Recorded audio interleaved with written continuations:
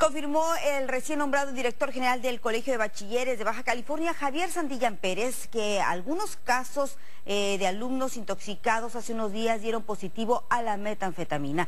Refirió que la escuela hizo una prueba antidoping de manera rápida y que comunicó el resultado a la Procuraduría y a los padres de los alumnos. También explicó que ICE Salud hizo una revisión en el plantel de Estación Coahuila para verificar que la contaminación del líquido no se derivó del interior de la institución.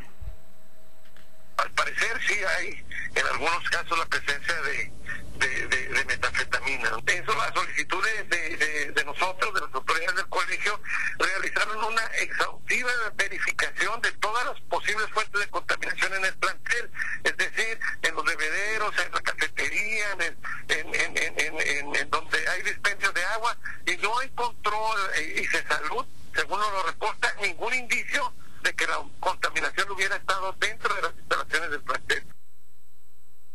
Bueno, es algo que deberá darse una información ya precisa de qué provocó esta contaminación, porque evidentemente es algo de mucho riesgo para los alumnos. Afortunadamente no pasó a mayores, pero pues hay que tomar muchas precauciones para evitar otros casos parecidos.